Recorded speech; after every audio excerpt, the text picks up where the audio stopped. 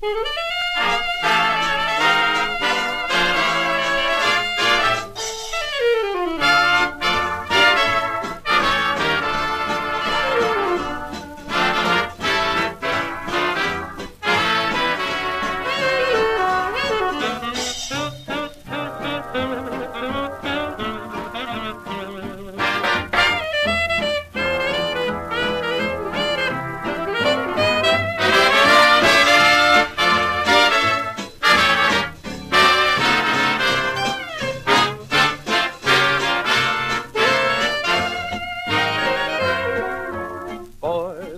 you heard the news? What about? What about? I just lost my gal, and boy, was she a pal. What's her name? What's her name? Mame was her name. Ain't it a shame about Mame? What about her? She has only herself to blame. What did she do?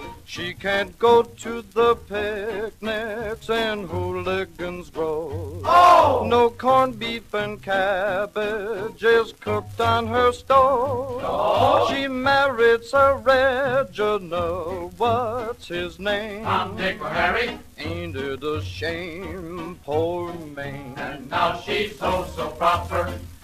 Ain't it a shame about me?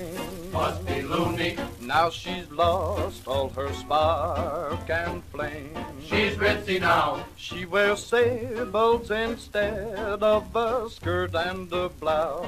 Oh! And has to keep shoes on when she's in the house. Aye? She married Sir Reginald. What's his name? Aren't she the snobby? Ain't it a shame, poor She's really got her hands full. She has got to be social. Has to go to the nightclubs. Has to dance like a Cuban and still act like a lady.